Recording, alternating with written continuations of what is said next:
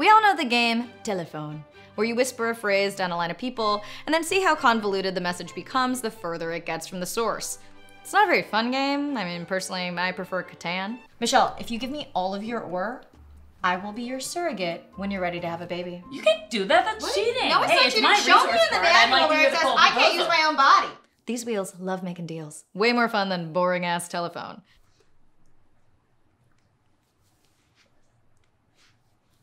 Did you just say I'm a loser? Good for you, Melissa. I love this game. But a lot of us don't stop playing telephone when we get into adulthood. Some of us unknowingly employ a tactic called triangulation.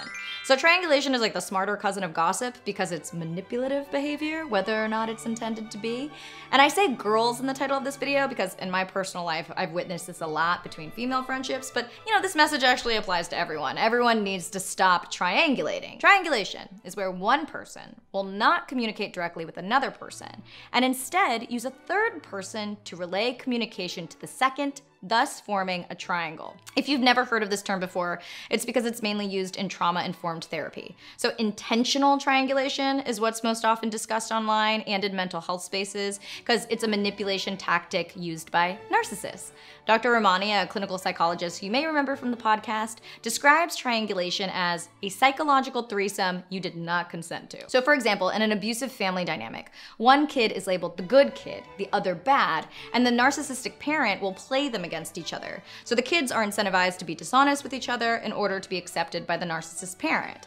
In a romantic relationship, the narcissist may bring a, in a third person like a, an ex or a colleague to create insecurity and shift the power balance by telling you that their ex wants them back now or their colleague just keeps hitting on them. Intentional triangulation can range in its subtlety, but ultimately it's about creating chaos, harnessing that chaos to keep control, and maintaining power in the relationship. But we are not all narcissists, so that's pretty irrelevant to us. right. right? Today I want to talk about unintentional triangulation, especially in friend groups. Now, even though triangulation in its nature is manipulation, we often do it without realizing it or intending to manipulate. And none of us are bad for doing it. We're usually motivated by pretty innocuous reasons. Like when I was a kid, I was definitely uh, perpetuating unintentional triangulation because I was just so shy and awkward. Hi, what can I get you?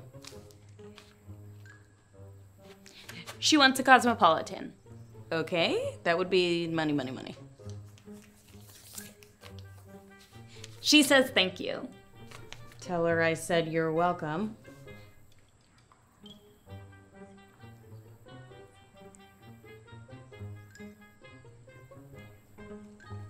Message received. Bye. Seriously, I could not talk to strangers to save my life. I made my brother buy me so many cosmopolitans in my youth. In addition to being shy, we may employ this because we're afraid of uh, confrontation, good old conflict. Thank you so much for meeting us. Sure.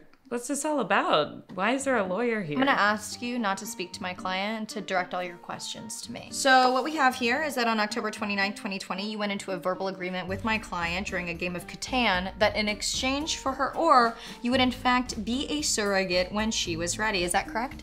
That was a joke. I wasn't actually gonna do that. Oh, a joke.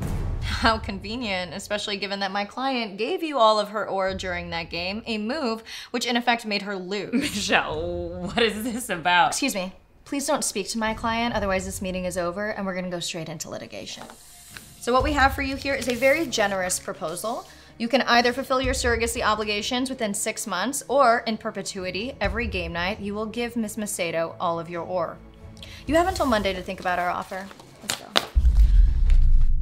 And then, of course, you have survivors of incredibly toxic and abusive families who don't know how to have a direct conversation because this behavior was modeled for them as acceptable, or they were taught direct conversations were just unsafe. Ever since I learned about triangulation, I see it everywhere now. And my hope is that you do too. And when you catch yourself doing it, because you inevitably will, remember that unclear is unkind. When we love people, that means being honest with them. That means having a hard conversation.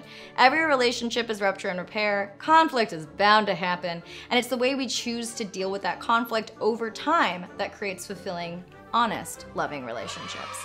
I'm Anna Akana, and thank you to the patrons who supported this video, and thank you to BetterHelp for sponsoring today's video. A while ago, BetterHelp was embroiled in this drama due to someone pointing out legal jargon in their terms of service, which was actually perfectly normal for a company to have, but it got blown out of proportion, and I've since talked to them. I've also used their service before, my friends have used their service, and so I feel confident about this endorsement and their team and what they're about. So all 11,000 plus counselors on BetterHelp, with no exceptions, are licensed, trained, experienced, and accredited psychologists, marriage and family therapists, clinical social workers, or licensed professional counselors. BetterHelp's mission is to provide anyone facing life's challenges with easy, discreet, professional, convenient, and affordable access to professional counseling with a licensed therapist. So you fill out a brief questionnaire about your history and what you'd like to work on, and then they match you with a therapist they think is gonna be really good. But I do wanna say finding a therapist is like dating. You should kind of, you know, keep seeing therapists until you find someone you really jive with. Sometimes that is on your first session, and sometimes it takes a few. With BetterHelp, scheduling is super easy and flexible, and you pay one low flat fee for unlimited counseling. You can go to betterhelp.com slash to sign up today.